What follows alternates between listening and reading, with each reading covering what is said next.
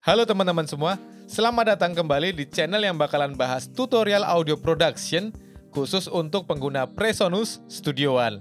Terima kasih buat teman-teman yang sudah mampir dan support channel ini. Buat teman-teman yang baru saja mendarat di channel ini, jangan lupa subscribe, like, dan komen, serta share ke teman-teman kalian.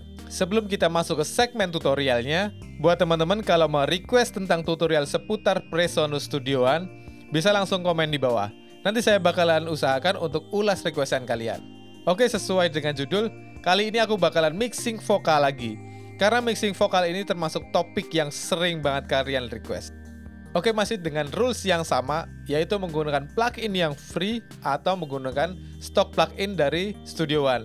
Jadi kalian nggak perlu ribet-ribet lagi install VST atau plugin bajakan yang mungkin malah justru membahayakan PC dan laptop kalian. Oke, kita langsung ke projectnya. Jadi di sesi tutorial kali ini objeknya adalah sebuah lagu yang gendernya cenderung melo nih. Komposisinya cuma simpel aja. Jadi dia ada piano, kemudian di sini juga ada pad dari pianonya itu, kemudian quartet string, ada double bass, solo, solo, viola dan violin. Udah gitu aja untuk musiknya. Kemudian di vokalnya ini cuma ada berapa? Empat track. Yang pertama untuk lead vokal, ini aku warnain orange. Uh, di interlude-nya dia ada shouting, ada teriak-teriak sedikit. Kupisahin tracknya. Oke, kemudian di sini ada dua track backing vokal yang mungkin uh, di sesi kali ini nggak akan aku proses dulu. Uh, kita fokus di lead vokalnya dulu aja. Oke, jadi di sini untuk vokalnya sendiri aku rekam pakai mic AT2035 dari Audio Technica. Jadi pada saat proses rekaman aku langsung pakai preamp dari DSP di uh, Zengo.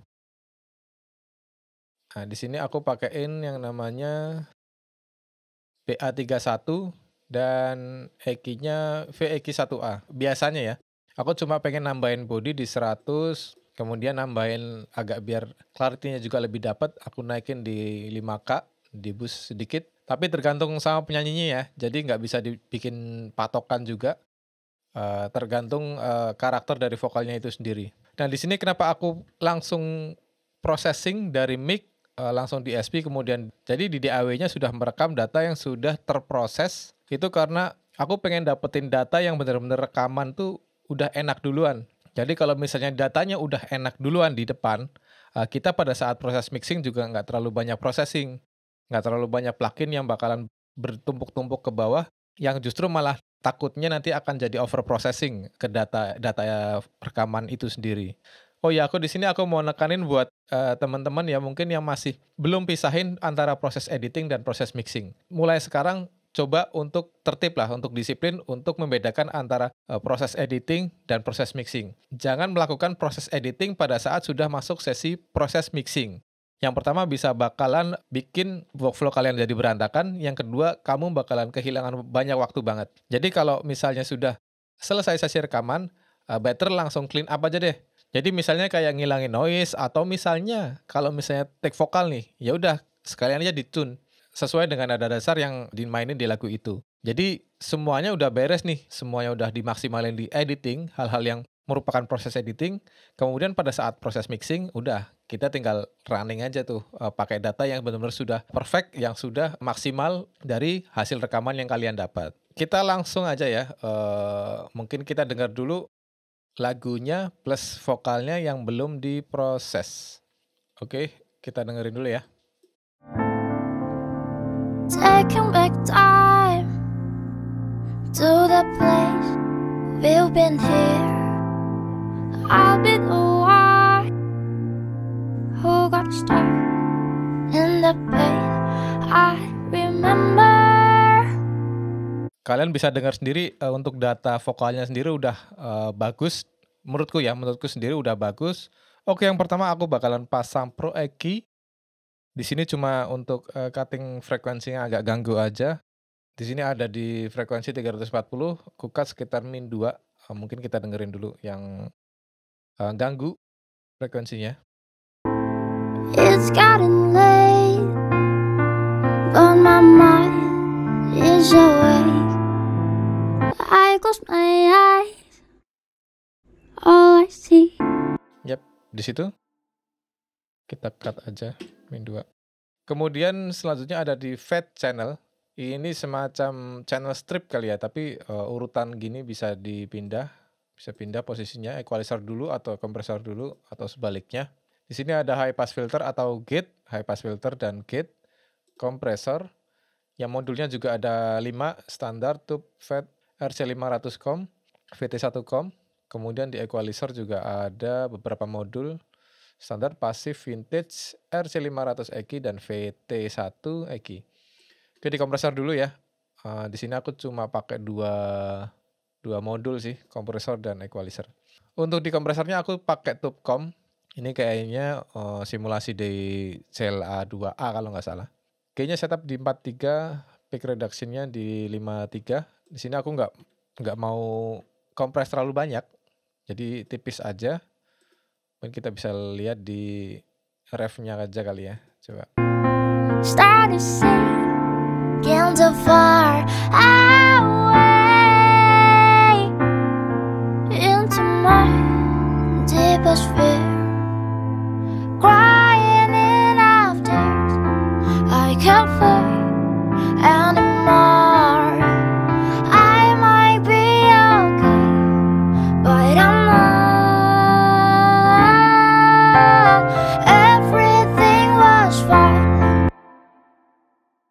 Bisa teman-teman lihat di meternya, di situ redaksinya nggak sampai lebih dari min 5. Mungkin masih bisa aku kurangin dikit lagi, biar nggak terlalu kompres. Start to sing,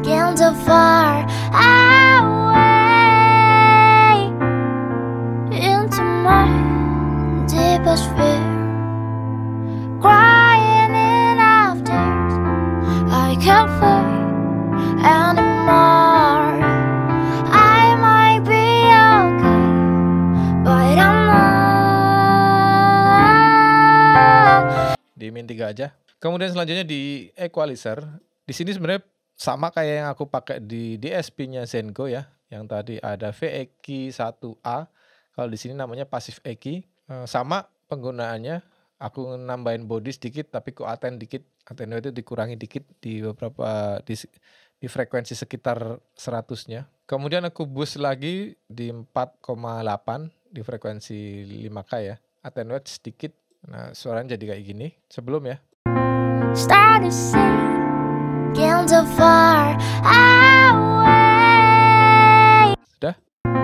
Start to sing, get so far away into my deepest fear.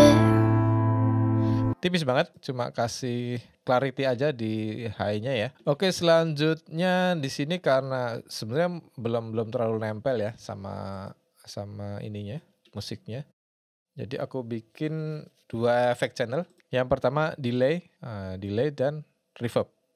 Dua track ini caranya klik kanan aja di bebas di mana kemudian di add FX channel dua kali terus yang pertama kita namain delay yang kedua reverb. Untuk di delay aku pakai analog delay ya. Masih bawaan juga dari Presonus Studio One. Eh, di sini pakainya seperlapan D double. Kemudian feedbacknya juga nggak terlalu banyak biar pengulangannya nggak terlalu panjang ya. Terus eh, ada low cut juga di 200 high cut juga di 2,5K sama kasih drive sedikit biar lebih subtle aja lebih kedengaran kemudian eh, lebar widthnya aku di 70 di pilihan tengah ya yang tengah zoom. Jadi karena ini desain jadi full wide sinyal. Mungkin kita coba dulu untuk di oh ya sebelumnya oke. Dua track efek ini kuruting ke vokal ya ke vokal ini vokal bass. Kalau misalnya teman-teman uh, bingung carinya ini tinggal di drag ke atas aja. Nah dia baru muncul. Oke kemudian uh, aku pasang ya di lead vokalnya tadi ini udah, udah aku pasang tinggal di plus delay karena namanya di LY tadi ya udah aku aktifin bunyinya jadi kayak gini kita kasih efek agak-agak lebar Taking back time to the place we've been here. I've been away. Oke, enak ya. Kemudian setelah itu reverb. Nah, di reverb ini sendiri aku pakai room reverb bawaan Studio One juga. Di sini aku pakai preset Concert Hall. Cuma aku modif di width-nya ini. Eh sorry, di height-nya ya. Height-nya aku kurangin. Kemudian di karakternya. Di sini aku otak-atik sedikit sih. Nanti bisa kalian bandingin dengan yang uh, preset aslinya. Long haul ya. Nah, kemudian sebelum reverb sendiri di sini aku pakai Pro EQ. Jadi aku filter dulu ya pakai equalizer ini karena biasanya untuk di beberapa frekuensi yang saya cut ini nih kalau kena reverb dia malah jadi dengung nggak enak. Jadi malah ganggu clarity dari vokal track utamanya. Jadi aku di high pass atau low cut sama di cutting sekitaran 500. Oke kita coba dengerin dengan reverb. Taking back time to the place we've been here. I'll be the one who got stuck in the pain. I remember. Oke kurang lebih gitu. Oke untuk lead vokalnya udah cukup, udah cukup ngeblend, udah cukup in konteks juga dengan apa yang ada di kepalaku ya. Kemudian di sini ada track keduanya yaitu untuk shoutingnya. Di sini aku pengen shoutingnya itu agak mundur ya. Kita dengar dulu deh.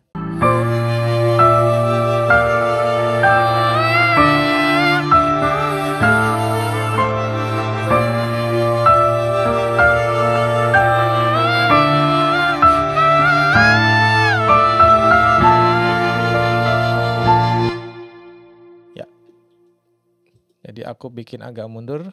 Volumenya aku turunin sekitar min 4,5. Kemudian untuk uh, processingnya aku samain aja karena karena memang ya sesi yang sama, penyanyi yang sama. Berikut juga dengan uh, berikut juga dengan efeknya ya. Jadi aku drag aja sama persis cuma karena ini di sini agak mundur fat channelnya aku turunin high-nya aku tambahin attenuate ya dikit kita coba dengar dulu sambil adjust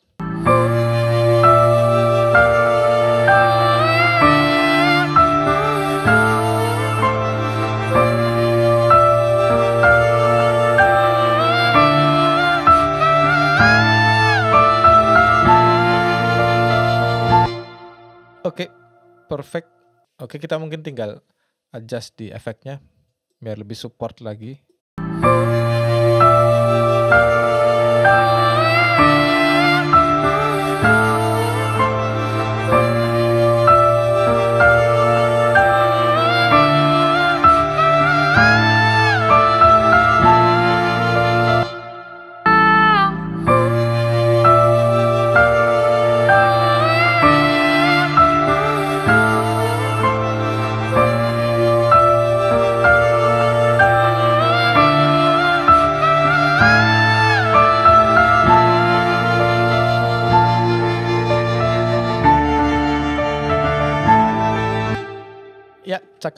Coba cek lagi untuk habis interlude. Situ ada slow part.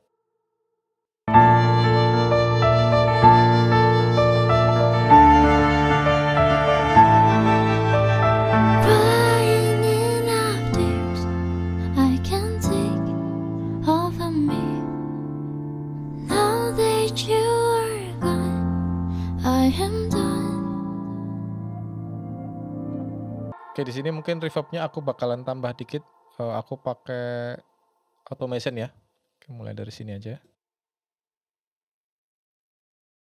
Oke.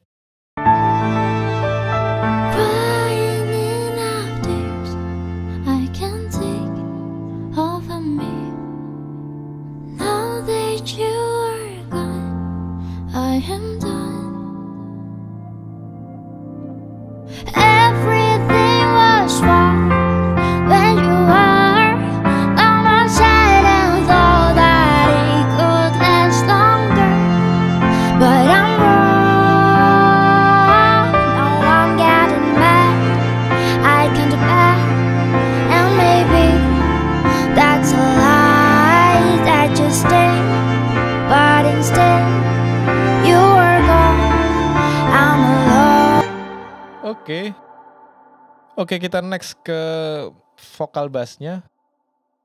Di sini aku pakai kompresor dikit aja karena memang nggak terlalu dynamic banget eh, vokalnya. Jadi cuma jagain aja biar nggak lompat-lompat banget. Every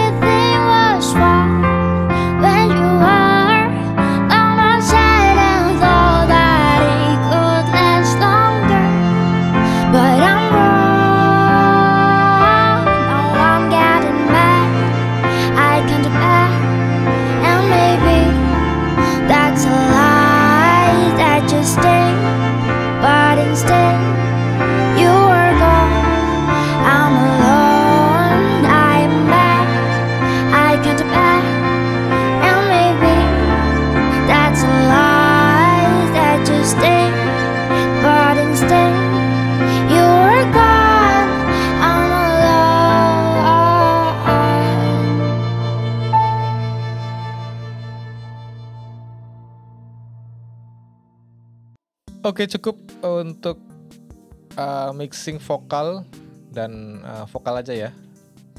Vokal utama dan shoutingnya. Oke kurang lebih gitu ya.